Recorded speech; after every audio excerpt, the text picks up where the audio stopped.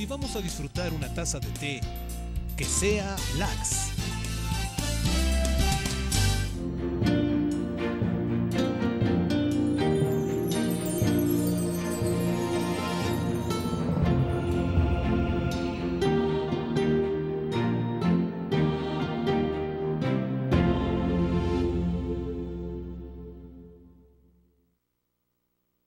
Comenzado el año santo de la misericordia. El Papa Francisco ha inaugurado este jubileo de gracia. El pasado 8 de diciembre, solemnidad de la Inmaculada Concepción de la Virgen María, ha celebrado la Santa Misa y ha abierto la Puerta Santa en la Basílica Vaticana de San Pedro. Es el tema de hoy en la libertad de creer. Sea usted bienvenido, es un grande gusto saludarle, como cada semana, con afecto y hoy todo este programa dedicado al Año Santo de la Misericordia, año que se extenderá hasta la solemnidad de Cristo, Rey del Universo, del próximo año 2016. Le recuerdo que el Santo Padre ha concedido el don de la indulgencia plenaria y con esto la remisión de todas nuestras culpas para todo aquel que quiera ganar este privilegio divino, la indulgencia plenaria. Comenzamos, vámonos hasta el mes de marzo de este año, cuando el Papa Francisco, de propia voz, dio a conocer que convocaría a este año jubilar, el Año Santo de la Misericordia.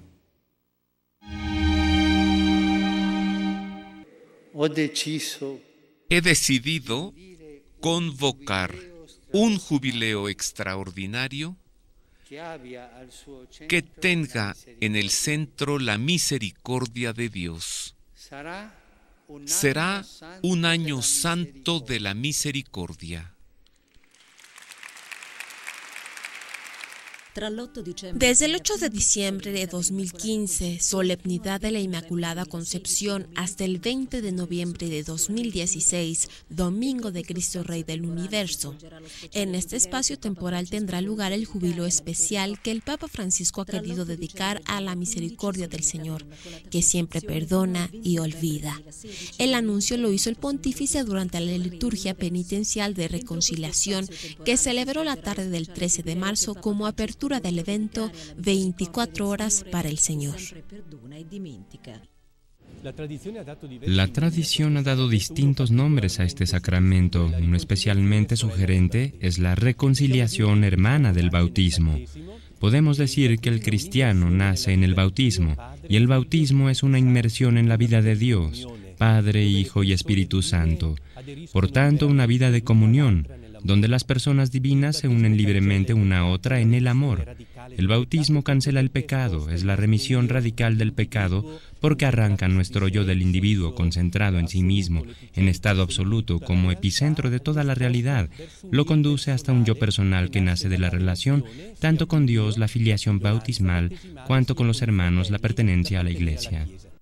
Antes de confesar y de confesar a su vez a algunos fieles, el Papa Bergoglio se detuvo en la certeza del perdón del Señor, que nos mira siempre con ternura y está siempre dispuesto a perdonar nuestros pecados, comparando dos figuras, la mujer pecadora y Simeón, que no consigue encontrar el camino del amor. El pontífice explicó que en el abrazo de Dios siempre hay misericordia y nunca condena.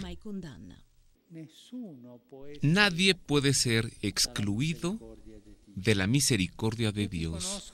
Todos conocen el camino para llegar a ella y la iglesia es la casa que acoge a todos y no rechaza a nadie.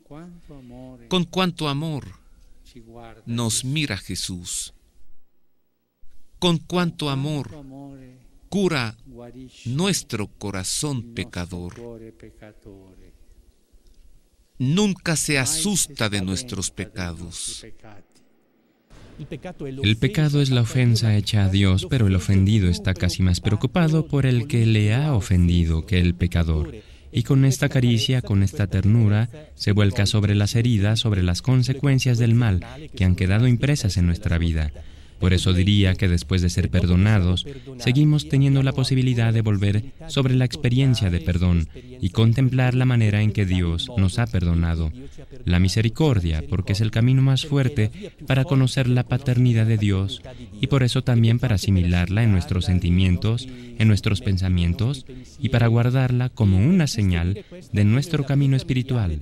El perdonado es con seguridad uno que ha encontrado al Señor y poco a poco también la vida se orienta de nuevo. La mentalidad cambia, la voluntad cambia y todo esto no es instantáneo, aun cuando el perdón es inmediato, sino que se percibe y se asimila a lo largo del tiempo. En la vida del fiel es importante, pues experimentar profundamente este don de Dios, este encuentro, meditando sobre un amor sin límites. El arrepentimiento sano madura cuando la mirada ya no está centrada en uno mismo, sino que contemplamos nuestro pecado que es asumido, acogido dentro del amor de Dios y por eso nuestros pecados al final coinciden con las llagas de Cristo, que son la expresión más alta de su amor.